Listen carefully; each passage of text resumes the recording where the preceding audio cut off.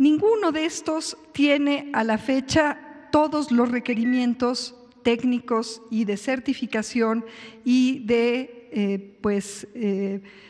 como decir, como de ensamblaje, de innovación y de certificación de también las plantas, porque el problema es que en México se había dejado caer mucho la capacidad industrial de producción de este tipo de equipo y ahorita estamos,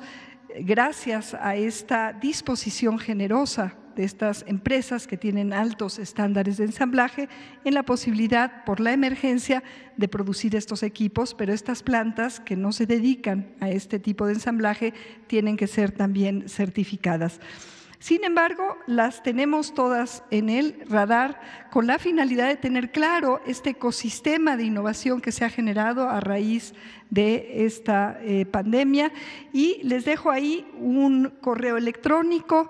para que quien esté viendo, si tiene algún otro desarrollo que ya haya cumplido todas estas especificaciones, en los próximos días, en colaboración con ACIT y COFEPRIS, va a sacar una serie de eh, pues, eh, restricciones y lineamientos que son necesarias para poder producir